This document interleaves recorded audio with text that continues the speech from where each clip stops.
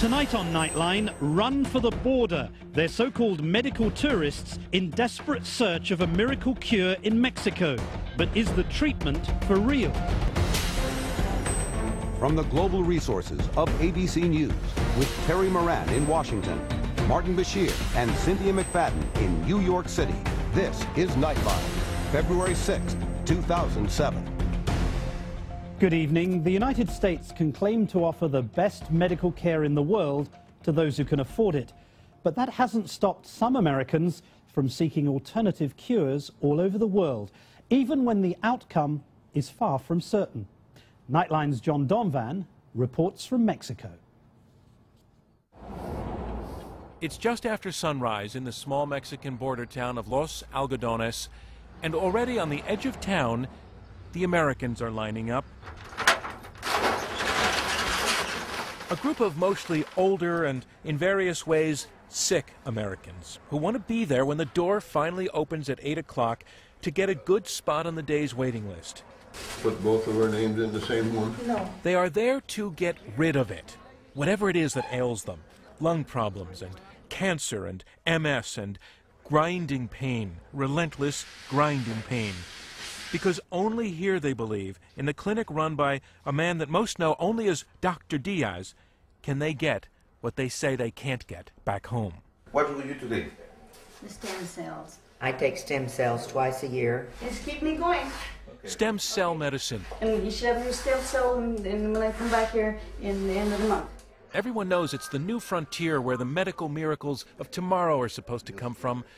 But these people believe you come to Dr. Diaz and you'll get your miracle today. Like Bonnie Good and her son, Rusty. I had the bad back, the bad knees, the bad shoulder, the bad neck. He gave me those shots, and the pain was gone before I got up. It was wonderful. I couldn't hardly walk. It was a miracle. It really was. Everybody I talk to out here says the exact same thing. It's just, he's good. Can't beat him. They come here from all over the U.S., and even Canada.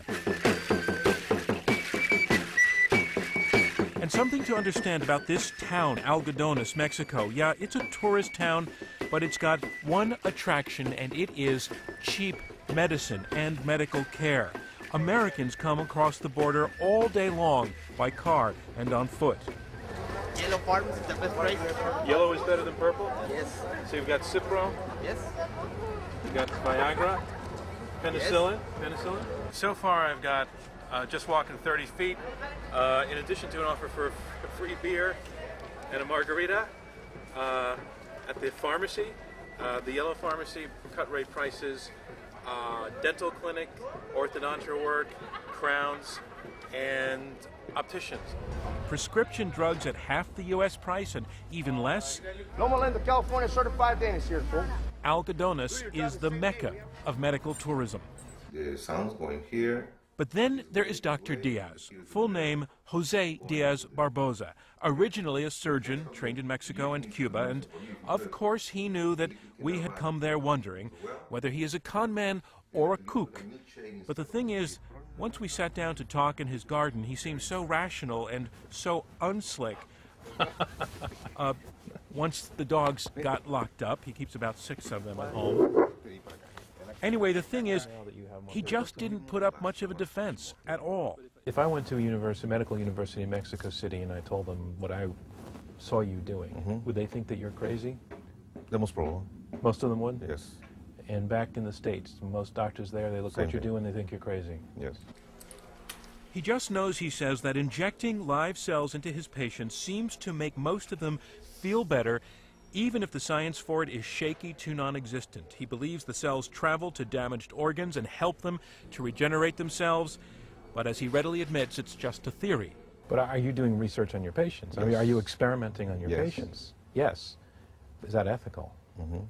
We got up at 3 o'clock this morning. But you want to see someone really defend Dr. Diaz, Phyllis Pickrell, in the waiting room. You're talking about 12 hours um, waiting to get in here? About 14 hours 14. now. Is it worth it? You bet it is. Every minute of it. It's her lungs. They are damaged and get blocked up. But I was on oxygen for eight years before I came to Dr. Diaz. For eight years? For eight years, and within 15 to 20 minutes after I took my first stem cells, I was able to breathe, and I walked out of here without my oxygen.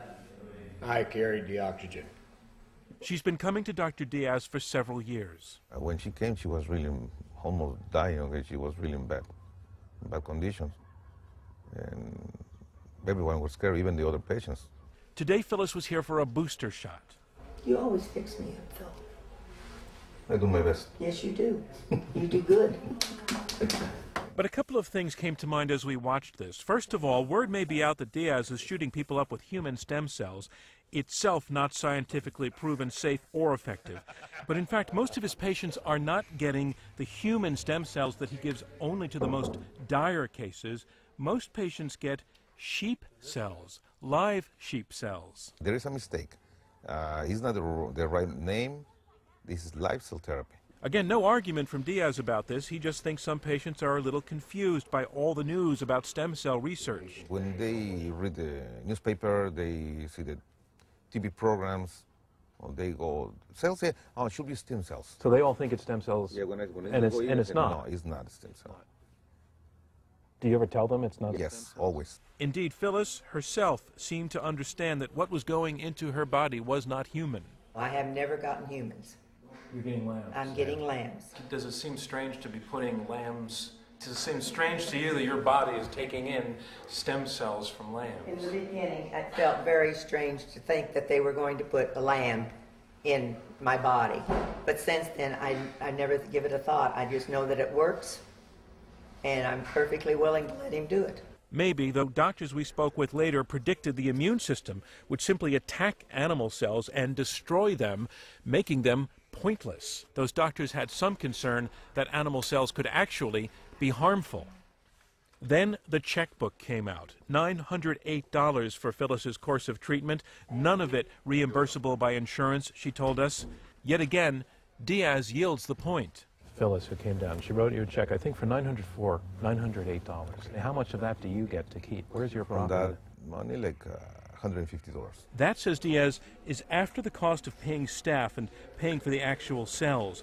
So, not unbelievable money for a doctor, especially given that he spent at least 45 minutes with every patient listening to their problems, something he says doctors today should do more of. They don't, they, they don't interact with the patient.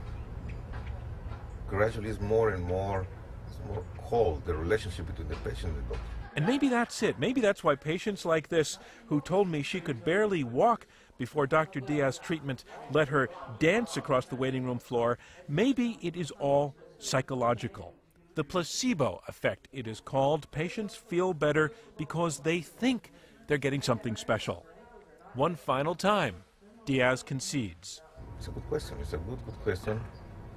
And maybe the answer would not be good for me. because that could mean he'd be out of business. And what we did not hear from were people who have been hurt by Dr. Diaz, who could be out there if, as some doctors think, what he's doing is not only untested but could actually be dangerous. But then those people wouldn't be in this waiting room. And so it goes in Algodones, because people will always be sick, and for now, Dr. Diaz is there. And whether he is helping people or harming them, science cannot say for sure. I'm John Donvan for Nightline in Los Algodones, Mexico.